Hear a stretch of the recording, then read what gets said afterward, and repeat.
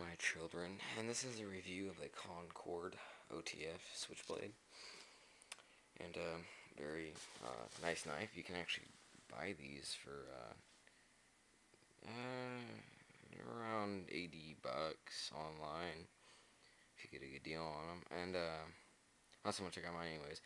But uh, all I know is this whole handle is made out of pot metal, which is very good. It's solid. So if you when you see where it cuts off right there, the rest is just full solid pot metal.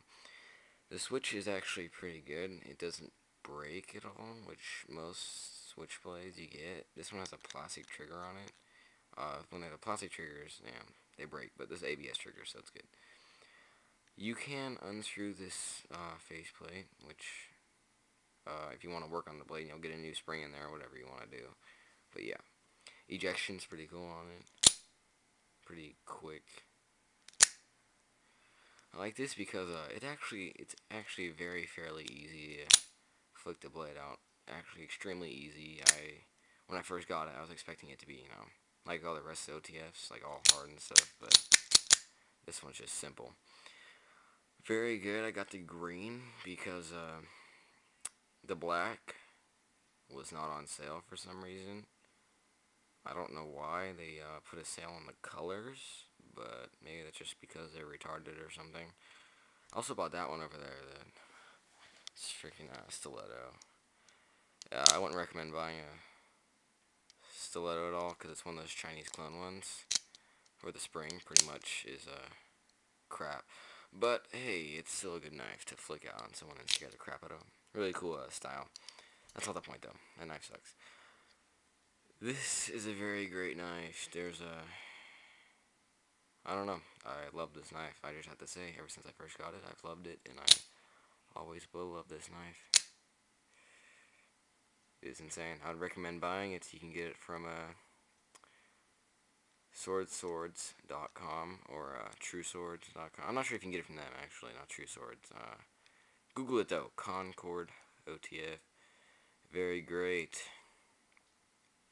So yes, cool knife plus cool person equals a hell of a lot of cool.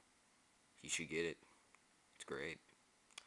The only thing that sucks is the paint job is crappy. So, uh, yeah, that's from uh, being in my pocket. That little scratch right there. That's from my pocket. And uh, you'll see little silver scratches. Uh, that's just also from being in my pocket. So, yeah, paint job's crappy as hell. But the knife's still great, so yeah. Get it. Get it.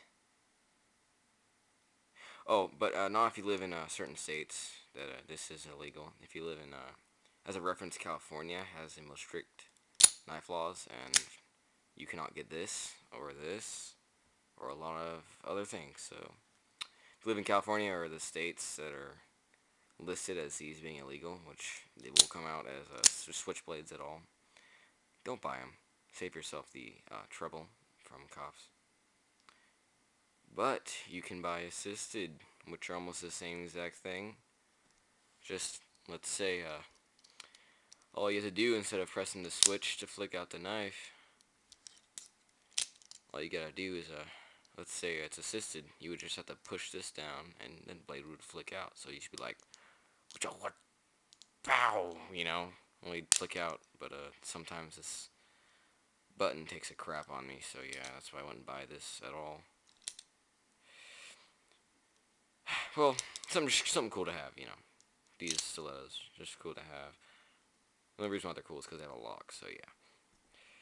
Other than that, I wouldn't buy it. If I had a choice, actually, I would just buy another one of these, only in black, because I can. And I'm cool like that, so... Don't buy this, whatever you do. This is a, uh, wannabe stiletto. Would not recommend them to anybody. Yeah. Recommend this to everybody though, unless you live in the illegal states. Then I wouldn't have to say I recommend it to you. I just have to say uh, they're cool knives and uh, you would not be able to get them off swords, swordsswords.com link listed below in the uh, description you would not be able to get them off there so uh, where whatever happens you know I, I didn't tell you you could do this because uh, you cannot get them there do not go there. Do not go to the knife section.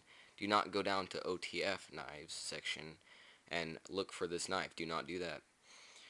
But if you don't live in those illegal states, then yeah, go ahead. Who cares? Thank you. Goodbye. Have a nice day. And that's the uh, Concord OTF and then crappy other thing. Thank you.